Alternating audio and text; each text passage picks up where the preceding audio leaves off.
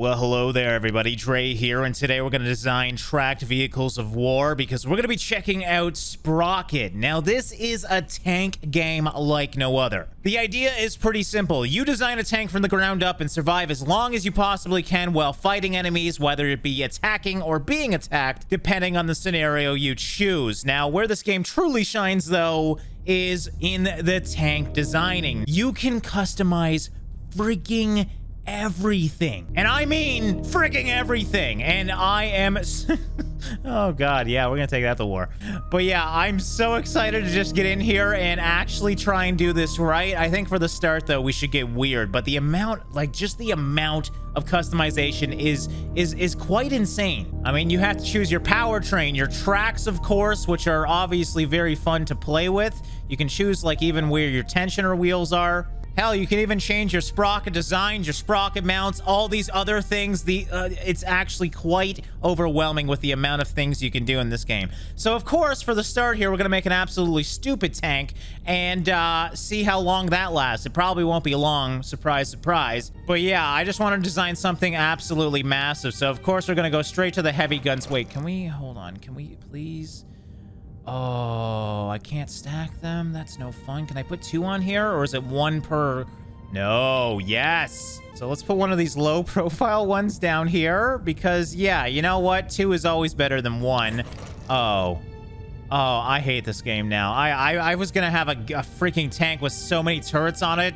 All right, so we can't do that, but let's just make a huge heavy tank. I don't even know what kind of mantlet I want. Probably this big guy right here. That looks pretty fun to play with. I mean, you can even see your armor uh, effective thickness. If you've played something like World of Tanks, you'll kind of understand how angling armor is important. Generally, if the armor is more angled, you have a higher chance of ricocheting, and the effective thickness of said armor is going to be thicker, because if you think about it, if a piece of metal's bent, you have to go through more of it than if it was straight. So this armor where I, I'm, I'm putting the mouse right now has effective thickness of 234 meters, where the actual piece of metal is only 150 millimeters thick. So basically, you want to angle your armor. Is that a barrel, or are you just happy to see me? Imagine if I just had this gun on his. oh, that'd be so freaking stupid. Wait, can I just make it thick? We're gonna up the caliber of that to a boom tube. There we go. You know what? No, I actually do want to see if we can do this right. Um, so we have internal space here. We're obviously way over the internal space right now because our caliber is so high. But I think once I expand out the turret size, we should be able to get more internal space.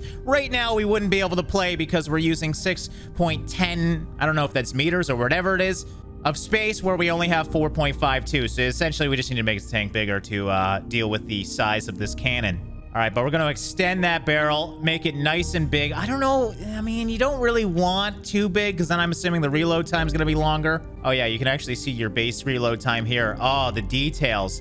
Um, I'm assuming it's the caliber going to, yes, obviously a smaller gun is quicker to reload. So let's let's maybe go a decent size. We probably don't need to go crazy though. I doubt there's going to be many hard tanks for one of the first scenarios. Let's do something like that. And we'll up the shell length to 0.5 meters.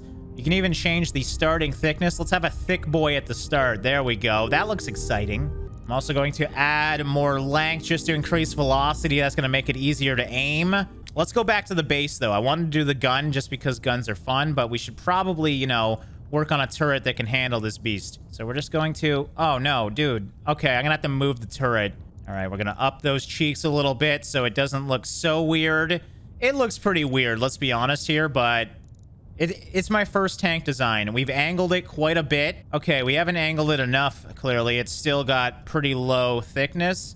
Okay, there we go. I was a little confused because the armor wasn't doing very well because you can change the thickness. So we want, obviously, the front to be a thick boy. All right, so I'm happy with that armor. Now let's design the hull because we haven't touched that at all. First of all, let's make these tracks a little bit bigger. So yeah, we're going to go to mobility first, actually. We're going to up the powertrain. So we can either do clutch braking or twin tra transmission. I'm going to keep twin on. Um, oh, wow. We can even change, like, suspension. Freaking, oh, my God. This is, this is to take me forever just design one tank. I love it, though. Oh, yeah, look at that. All right, so we want to keep this kind of low to the ground. It's already a big target. We don't want to make it bigger, but I'm assuming we want a little bit of suspension so we don't, you know, bounce around like crazy. Can throw some spare tracks on here. I wonder if it works as armor, because often that was the case. Um, we'll throw some on the back. Obviously, we want to expand this out a bit. I don't, I, I don't want a crazy design. I want something that will hopefully actually work. So there we go. That looks good. We'll change those to those. I just like those better. God, you can change everything, though. This is so cool. I'm just having fun designing a tank now. Suspension. Oh, you can change total suspension designs. I don't know enough about suspension to be playing with this. Let's just keep it with that one. All right, and I think that's good. We still need driver support and gunner sight to work. We still got to very much design the crew. Let's up the engine here. We're going to go for a heavy engine. It's still going to be slow. Yeah, as you can see, we definitely don't want light engines. Uh, we can even go advanced here. Oh my god, number of cylinders. Up it. Ah, that's the max we can do. You can customize the RPM. You can even up, to, up the idle if you want. Jesus. You can change the gearing. You can add more gears if you want. We'll, we'll keep it with the suggested. I don't know if I want to get this deep into this game, but that's actually insane. Okay, so now we gotta choose where our crew goes. So Commander can go in the turret. I think we can make him the radio operator as well. I don't know if we need a radio operator for this job, but we probably should have one. So we have a loader, we have a gunner, and we have a driver. Can we do two loaders? Sometimes it makes sense to um, do two loaders. I love how he's a passenger at the start. I would like him to be a loader as well. Oh, you can only have one loader? Big tanks often have two lo loaders, so that's kind of lame. Put a Commander Cupola on the top of this. Not really a smart design for a Cupola, but we'll throw it right there. All right, we got a viewport port for the gunner. I'm assuming that's to aim down sight. So we're going to throw that, I guess, right here. And then the driver's in the hull, so we'll put him right in the middle at the bottom. I'm assuming we need an antenna for our radio system, so we'll throw that in the back where it's hidden. Crew hatch at the bottom. Here you can kind of see the scale of this thing now with the crew hatch. I don't think we'll be fighting in the dark, but just in case, we'll throw some headlights on it. I don't think we need brake lights. Logs are always smart. These were used to go over, uh, like, ditches and whatnot. And it's also added armor. So, well, at least in real life, I don't know about in this game can also throw a gun at the commander's hatch just in case. I don't know if I can use it, but I hope I can. All right, is that everything? Of course, we gotta just camo it up. Well, watch this thing be a total failure, but it's so big and stupid. Let's try it out. It's way too big. Like, we have so much extra space. That's just added tonnage. Design must be under 40 tons for this mission. Uh, we're 43. Okay, so I guess we got to redesign our space a little bit and we are just within range. That's perfect. The, the turret's bigger than the actual hull, but it's gonna be so fun to use. Okay. Uh, design must be for... Oh, damn it. I must have made it a little bit bigger. Okay, hold on. We'll just get rid of that a little bit. Does it work? It freaking works. It is the stupidest looking tank I've ever seen. I can't even rotate it. I'm being shot right now. I should probably focus. Oh my god, it doesn't... It hardly moves doesn't go up. What, what did I do wrong? All right, come right into my crosshair. I don't know why the gun depression isn't working. Please come here. I can hardly move. This was not a good design. Yes, come on. Come on. Ah, just... Why are you so tall? There we go. Goodbye, Bennett. So yeah, not the smartest tank design. You generally don't want to just max out your turret size. and it's so heavy, I can't even turn it. I actually can't turn it. It's a good thing my turret turns pretty fast. I put a lot of torque into that because without that, we'd be screwed. I'm still reloading, by the way. Thanks for stopping. You definitely would have killed me if you kept going. Oh, I'm hitting, getting hit by the side now. This was a really bad tank design. I think we got to go for like a light, speedy tank, or at least like a medium design. I'm actually stuck in the ground now. I don't know if it's because it's so heavy or what. That, I mean, I got two tanks, but that was not optimal. All right, so we're going to go for a light tank design. Can you see the difference? That's going to hopefully help out a lot. I'm going to keep it nice and light and hopefully speedy. So we just want crazy angles on this thing. That's looking good. Much better. I got to learn how to angle this. Are these these? Yes, there we go. Okay, I just want a little bit of an angle with that. Nothing too much. Keeping a nice low profile. Much better looking tank so far. Up that frontal armor. Again, we want to make sure that's nice and safe. All right, so we have a base reload time of 2.5 seconds now. I upped the caliber just a little bit. This is way better. I, what, what was the reload last time? Like 10 seconds at least? We're still a little bit heavy. mostly because of the crew. So we're going to have to up this turret a little bit just to fix, fit, fit everything in there. It's 81% of the crew. I wonder what crew do we have in there? If I can move a crew to the hull, that would obviously be good. Commander's in the turret. If I throw him in the hull, we... Now, now the hull's having issues, but that should be way better. And then I can customize this turret a little bit more. Because I want the turret small. The smaller it is, I'm assuming the faster it rotates, and that's obviously important. Because the front looks good, but the back is not the best. So we're going to up those cheeks a little bit because we have room now, and we're going to angle the hell out of that because it has no angle right now just because we have the space to do so. That way, hopefully, we bounce a lot more. Now we need to angle the sides as well because we can. So there we go. Something like that that at least has more angles. And we're going to have to have, unfortunately, a little bit of a bigger hull. We drop the fuel down. That's going to help out a little bit. I don't know how much fuel I'm going to need. Hopefully, I don't run out because that would be annoying. Oh, interesting. What was that that I just pulled? Okay, so the bottom... I guess I had the bottom really thin, so I didn't have to actually change much at all. I think this is good. We're maxing out once again, pretty much. Except this time it's only 16 tons. Let's see if we can... Whoa. Why the hell?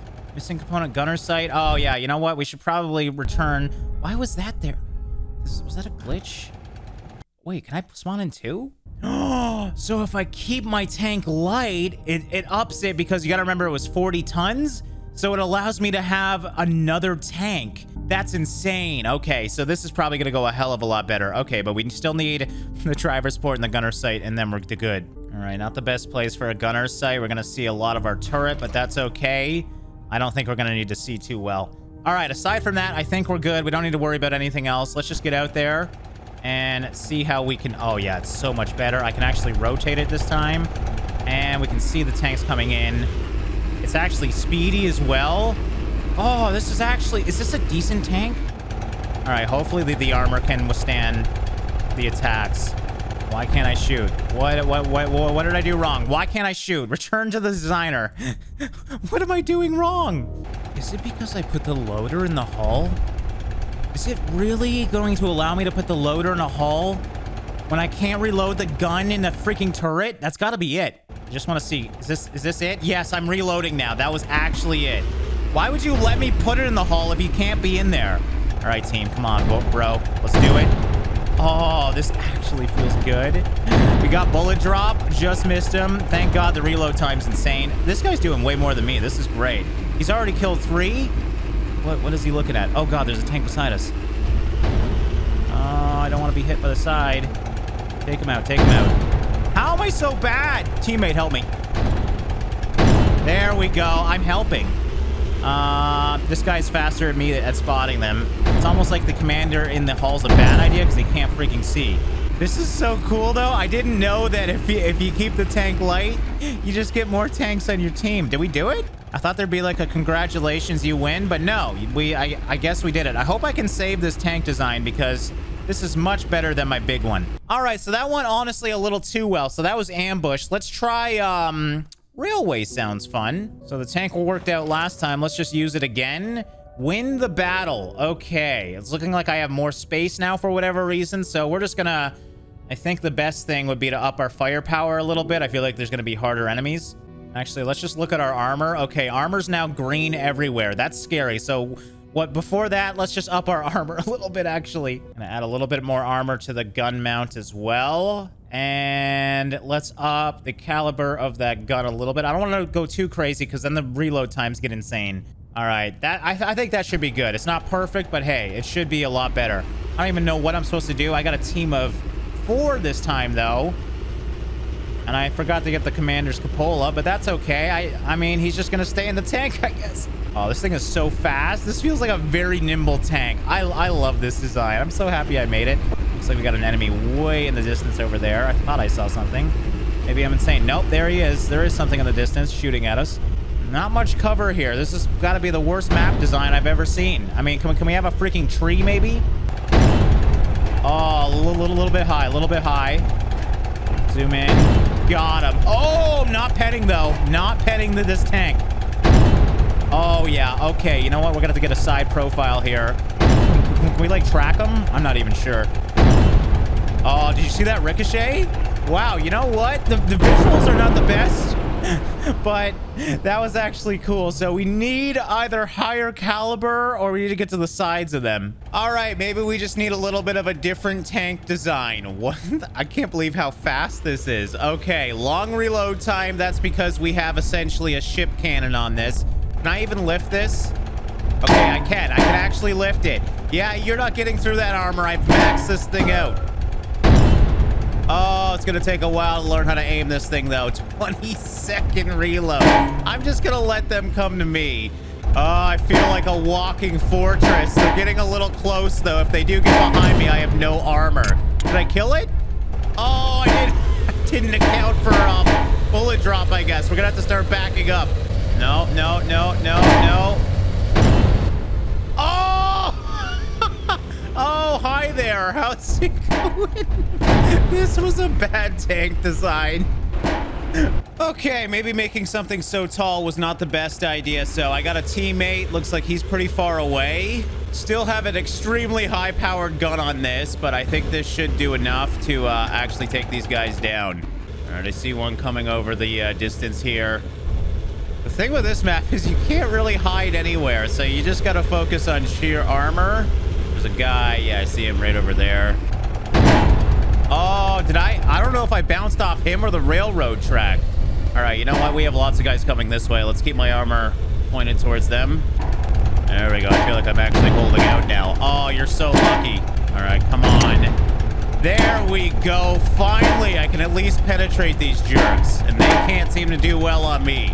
So as long as they don't get behind me, I'm, I'm okay. Oh, this feels so cool done. All right, next one.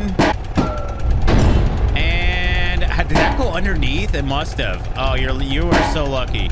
We did it. We, okay, I, I must have actually got him. So he must have got the final guy on my side. Okay, that feels good with this massive beast. Well, it's nice to see some weird tank designs do indeed work. And on that, guys, we're going to wrap up this episode of Sprocket here. I just wanted to quickly show you guys this one because I think it is so damn cool. I don't know any other game where you can customize every angle of a tank and it actually reflect how the armor works in the game. So yeah, I had a lot of fun with it. If you want to see more of it, let me know in the comments below.